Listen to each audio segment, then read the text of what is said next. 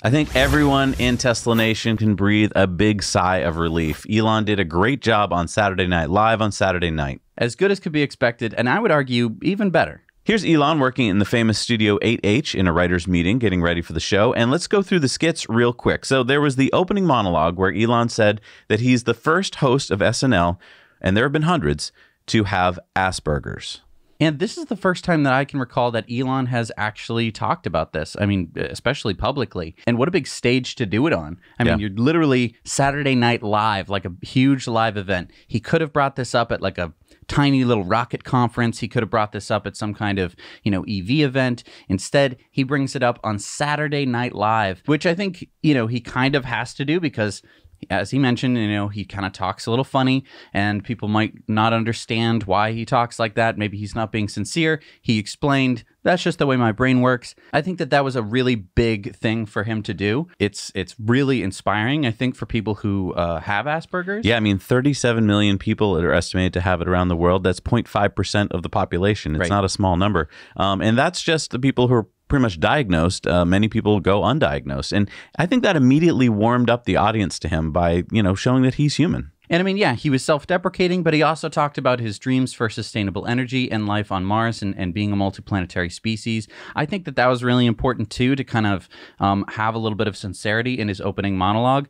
Not a lot of monologues are that sincere Yeah. on SNL. Usually, you know, this person is an actor and they know how to tell a bunch of jokes. And so. And they plug their latest movie. Right. It's like, and you're going to want to see me in the next Avengers film. and it's usually hilarious, but I think that it was it was really nice that he was able to be a little bit more sincere, talk about some things that were important to him. Yeah, then Elon brought out his mom, Maye Musk, to join him for a funny, awkward, but heartwarming Mother's Day moment where he talked about himself as a kid and he promised his mom a Mother's Day gift of, wait for it, Dogecoin. So after the opening monologue, we got a Lucid Air commercial and a Ford Mach E commercial. We're going to talk about that more in a minute. Uh, but then we got the Gen Z hospital where Elon played a doctor that spoke Gen Z. And I think that he did a pretty good job. Yeah. Uh, on- on the, on this skit. I mean, it seemed like he hit all of his lines. Uh, the timing didn't have to be perfect because they're all speaking, you know, Gen Z, and we're all oh lit, fam. You capping with me right now? You capping? He was not capping. Then there was the post quarantine conversation sketch where Elon played a convincing nerdy guy at party. Yep. Then we got a VW ID4 commercial. Again, we'll talk about that in a second. Uh, then Elon played the producer in love with his cousin, who's the host of an Icelandic TV show called The Uli Show. A lot of cousin jokes in this episode of SNL. A lot. Like, I think there were three skits with it in there. Weird. Way too much. Elon made a brief appearance as the creepy, guilty priest on Murder Durder. Murder Durder. Then he played Lloyd Ostertag, the cryptocurrency expert on the SNL news desk, where they kept asking him, but what is Dogecoin? And he finally had to admit that basically it was like a hustle. Right. Um, but he said that it was uh, to the moon. Dogecoin was rallying before SNL. It dropped about 10% during SNL, Interesting. during the course of about, uh, you know, a couple hours. But I mean, let's just think about it. He pitched it during the monologue and he pitched it during the news. it's Dogecoin. It's going to do whatever it wants to do, and it's been going down ever since. I think that it's you know I, I'm not Maybe it was pre-hype. I mean, maybe it was the fact that he tweeted out a lot of stuff about Dogecoin, like uh, the Doge father. right, and I mean Lloyd Ostertag said that he was the Doge father, but it was like one line, Right. and that was it.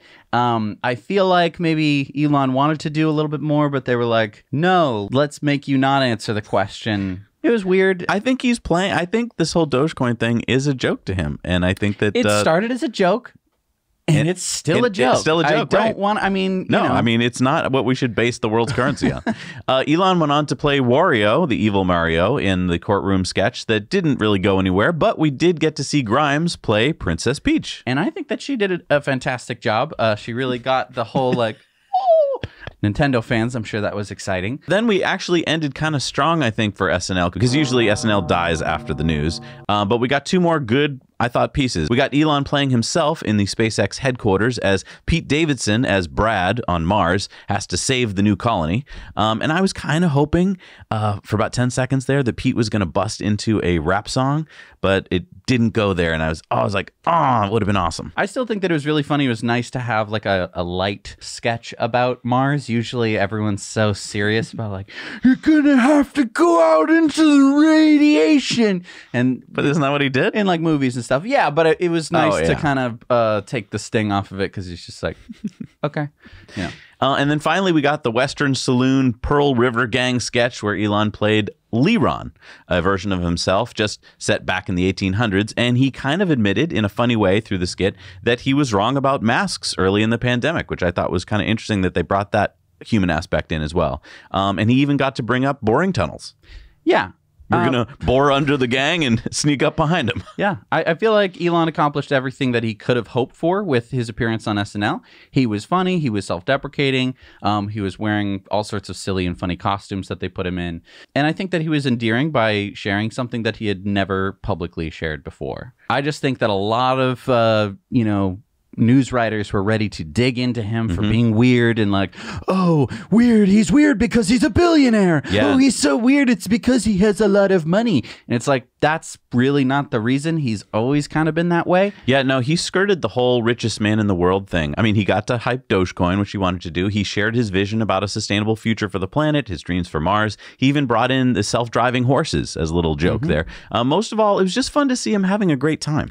Yeah, and I mean, I don't think there was too much to lose here. I mean, Tesla's doing fantastically, um, and it was great to have him on Saturday Night Live. I think that that's going to kickstart a lot of conversations, maybe But- even with you people. But, you know, a funny thing was, aside from the brief photo of a horse being supercharged, uh, there was no mention of Tesla. And I mean, that's kind of weird to me. I mean, if there was one piece that I would have loved to have seen, it would have been the Cybertruck uh, worked into some kind of skit.